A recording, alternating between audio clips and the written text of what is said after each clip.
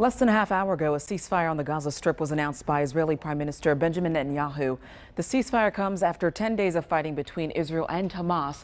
Since last Monday, more than 3,700 rockets have been fired into Israel. Now, hundreds have landed in Gaza, killing upwards of 200 people, mostly Palestinians. The death toll includes women and children.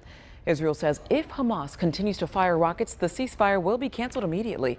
Meanwhile, the humanitarian situation in Gaza continues. More than a dozen hospitals and clinics have been damaged. Medical supplies, fuel for electricity and water are running low.